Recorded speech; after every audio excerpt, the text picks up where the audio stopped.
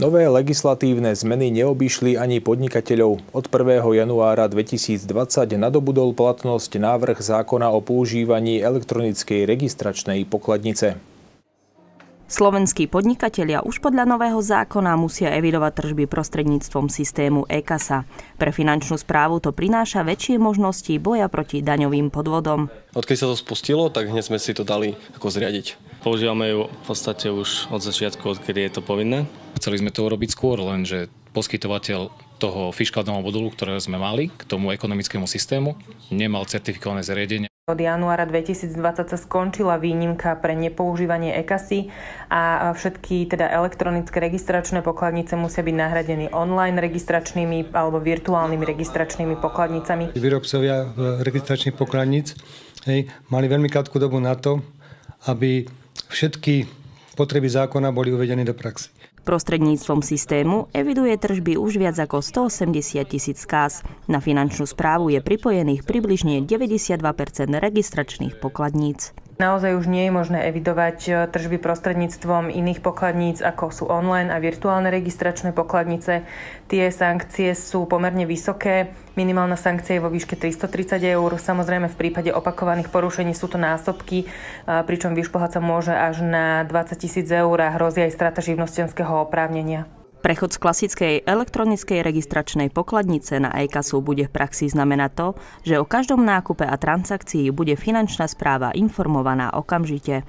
Všetky vydané doklady budú evidované na centrálnom úložisku e-kasa. V prvých januárových týždňoch sa sústreďujeme práve na kontroly podnikateľov, u ktorých vieme, že ich prevádzky sú otvorené a teda na evidenciu tržieb ešte EKASu nepoužívajú. Online registračná pokladnica má aj svoje nedostatky, na ktoré reagujú aj bardievskí podnikatelia. Tá EKA sa nám nefungovala týždeň, teda jeden deň sme sa nevedeli pripojiť jednu hodinku.